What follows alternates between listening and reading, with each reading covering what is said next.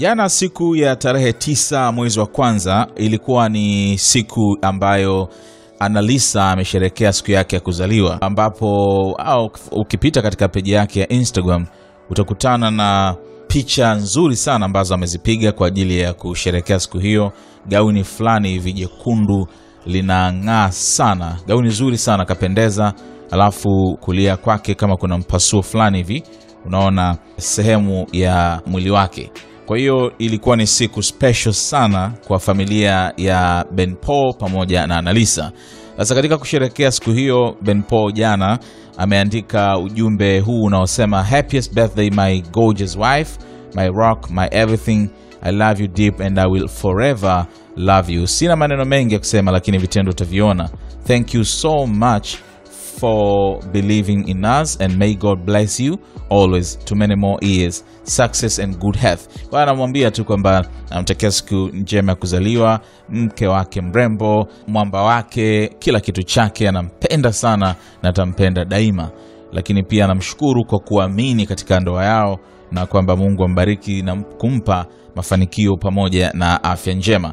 Watu wengi hapa wamecomment, mastaa kibao kina Linux, Maina wa Kageni, Barnaba, Analisa vilevile akamjibu mmewe akisema thank you my husband for such lovely words. I appreciate you every day and forever. I will love you too.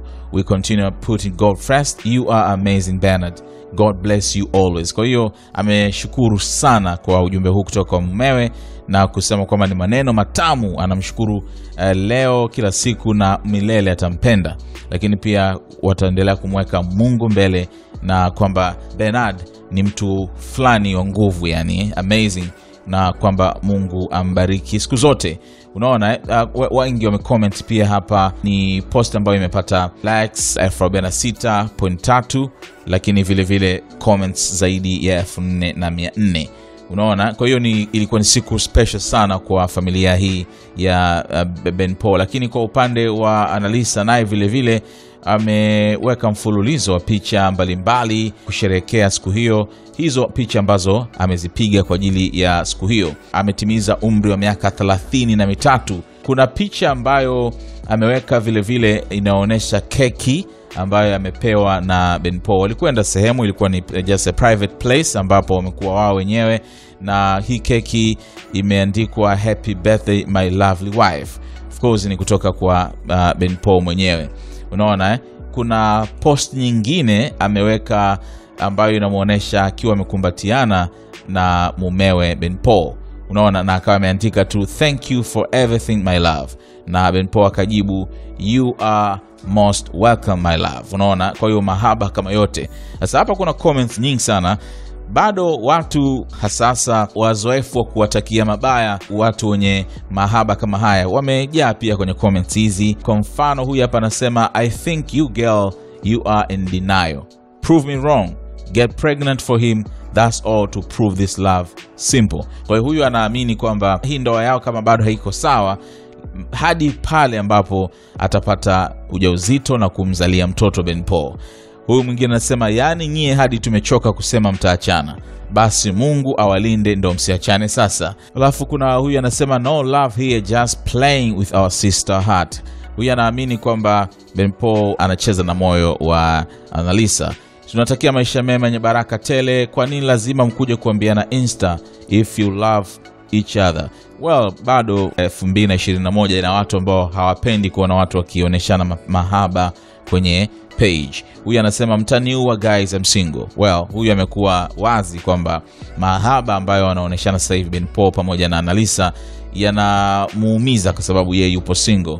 Huyu anasema you guys are back together, never bring your doms in social media this year 2021 love you two together. So yeye anaamini kwamba mapenzi yao inabidi ya private sana, yasiwe kama mwanzoni kabisa wakati wanaanzisha uhusiano hata kabla hawajafunga ndoa. Kwa hiyo bado watu wanachukulia 50-50. Kuna watu ambao wana enjoy kuona kwamba Ben pamoja na analisa wanaonyeshana mapenzi kama hivi, lakini vile vile kuna wengine ambao hawapendi wakihisi kama vile is too much, vitu vingine vibaki private, lakini ndo hivyo wanapendana, na actually ni mtu na mke wake. Kwa hiyo ni wazi kwamba lazima waoneshane mapenzi.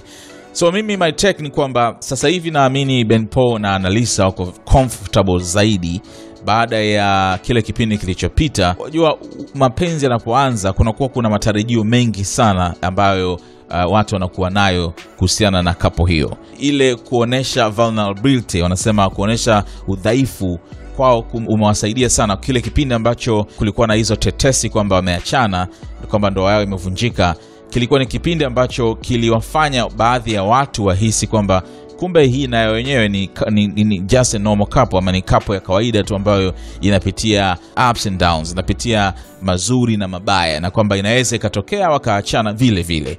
Sasa kile kitendo cha sasa hivi kurudi kwa kasi kimewafanya baadhi ya watu waone ni kawaida tu kwamba ah, hawa si walishagawahi kuachana bana, inaweza ikatokea anytime. Kwa hiyo kuna focus fulani hivi imepungua ukilinganisha na zamani. Nadhani hii ni technique tekniki nzuri sana pia kwa kapo zingine, kwa mfano hata ya Vanessa pamoja na Rotimi.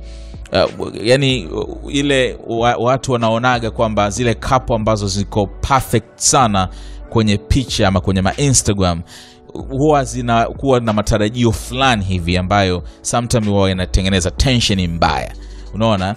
Kwa hiyo pale ambapo hii kapo ikionyesha kwamba well, tunaweza tukagombana kwa maana kukosana kidogo na tukarejea tena kama kawaida, inapunguza kidogo hiyo expectations ama hayo matarajio kutoka kwa watu na watu kuacha uh, kufocus sana katika kile wanachokifanya, na ndio maana sasa hivi katika kile kipindi ambacho walikaa muda mrefu pasipo kuambiana hivi, unaona watu waliwasahau, wakaona kwamba well, na wenyewe vile vile wanaweza wakaingia katika mgogoro pia.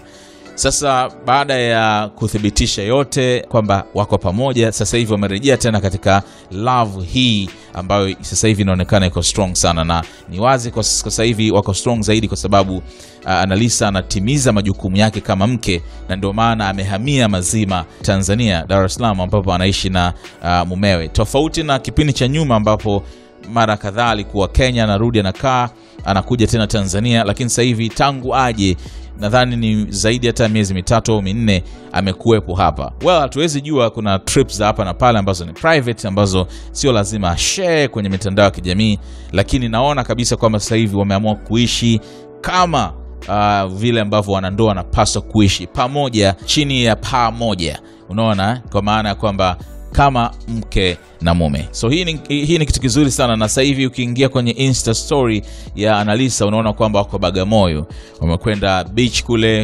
uh, kuenjoy pia. Nadhani celebration ya, ya birthday ya Analisa bado inaendelea, na kiukweli Ben Paul na Analisa sasa hivi wako strong sana. Ikumbuke kwamba juzijuzi juzi tu hapa uh, walikuwa pamoja ambapo uh, Ben Paul alitumbuiza pale katika hoteli ya Ramada ilikuwa ni pati fulani hivi ya kishua sana, walipendeza kwelikweli.